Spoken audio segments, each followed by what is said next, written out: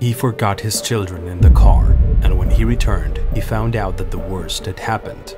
Al regresar ocho horas después gritó al descubrir los muertos con espuma en la boca. Some called him a murderer, but it was his wife's reaction, mother of the deceased twins, that went around the world once she was reunited with her husband.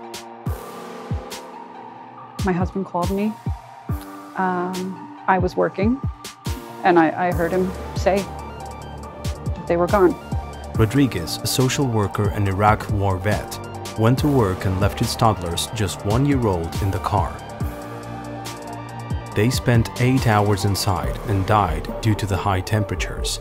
The baby's death caused great commotion among the neighbors in the area. Entonces tenía las piernas todo quemado y el brazo todo quemado. A mí se me pararon los pelos and I started crying. While some sympathized with Rodriguez, others questioned him and called him a murderer. Es una cosa terrible porque como él no pensó que dejó sus hijos, no se acordó de sus hijos. After the tragic incident, Juan pleaded guilty for the death of his twins at his twins' hearing, in which he was ultimately not sentenced to serve time in prison, but was instead placed on a one-year conditional discharge and was required to post bail of $100,000. However, what really surprised the public was Marisa Rodriguez's reaction, the children's mother, who despite the indescribable pain, decided to support her husband in this difficult situation.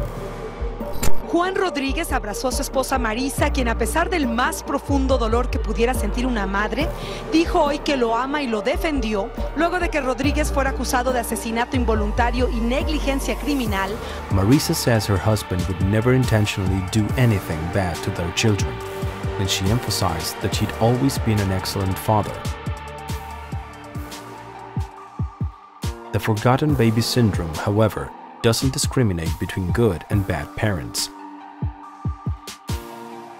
It was an ordinary day. Juan was supposed to drop Luna and Phoenix off at the daycare center and then leave for the hospital where he worked. However, he forgot that the twins were in the back and went straight to work. Eight hours later, he returned to the vehicle and found their lifeless bodies. que él pensó que dejó los niños, hasta, hasta llamó a, a- a su esposa diciendo, recoge los niños.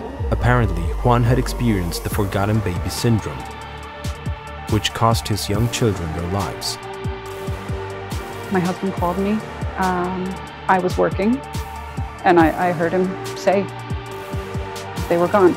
This syndrome causes parents to be convinced that they have left the children at daycare, at home, or in a safe place, and is usually triggered when the parent is under a lot of stress or fatigue.